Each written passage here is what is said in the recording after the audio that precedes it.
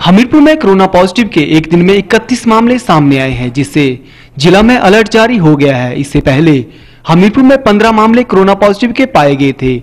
मुंबई से हमीरपुर लौटे लोगों के ही कोरोना पॉजिटिव पाए गए हैं, जबकि इकतीस मामलों में से एक ही व्यक्ति होम क्वारंटाइन किया गया था, जिस कारण डुग्गा पंचायत को सील किया गया है। हमीरपुर में कोरोना पॉजिटिव मामलों की कुल संख्या छत्तालीस हो गई है और इकतालीस एक्टिव केस आज के समय में हो गए हैं। इसके साथ ही चार मामलों में लोग रिकवर भी हो चुके हैं और एक व्यक्ति की कोरोना से मौत हो चुकी है। उपायुक्त हमीरपुर हरकेश मीणा ने बताया कि गत देर रात्रि को आए कोरोना पॉजिटिव मामलों को कोविड केयर सेंटर डुग्गा में शिफ्ट किया गया है और वहाँ पर उनका उपचार चल रहा है। उन्होंने बताया कि उनतीस मामलों में अधिकतर मुंबई और पुणे से लौटे हुए लोग हैं।